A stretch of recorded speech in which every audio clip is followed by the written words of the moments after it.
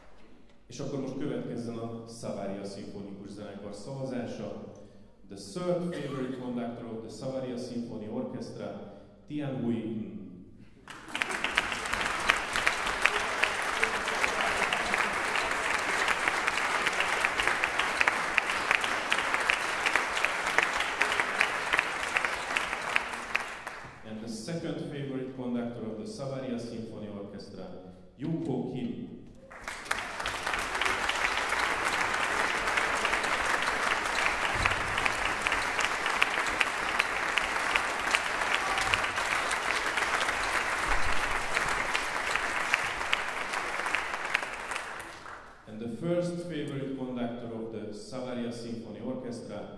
Shoji Haraguchi